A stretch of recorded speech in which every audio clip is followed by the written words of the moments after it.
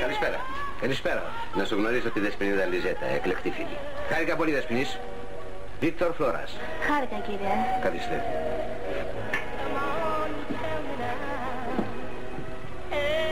Σπανίως να κανείς μια τόσο χαριτωμένη κοπέλα. Από πού είσαστε; Από τη Θεσσαλονίκη. Μμμ, όμορφη πολιτεία. Έχω πάει με δύο φορές εκεί, αλλά δεν κάθισα πολύ για να τη χαρώ. Ίσα ίσα για να δω τους αντιπροσώπους μου. Αντιπροσώπους; Ναι, ο κύριος Φλωράς είναι από τους μεγαλύτερους ριζεμπόρους. Έρα τώρα, ας μην μιλάμε για business. Αλήθεια, πότε σκοπεύετε να επιστρέψετε εκεί; Καλύτερα να μην γύριζα ποτέ. Α, απογοητευμένη. Δεν έχω τίποτα καλό που να θυμηθώ. Μια τόσο όμορφη κοπέλα σαν και εσάς δεν πρέπει να μιλάει έτσι όταν μάλιστα η ζωή έχει τόσες ομορφιές. Θα κάνω μια κρουαζιέρα στα νησιά και θα την πάρω μαζί μου. Και όλες οι στενοχώριες θα πετάξουν στη θάλασσα. Εκτός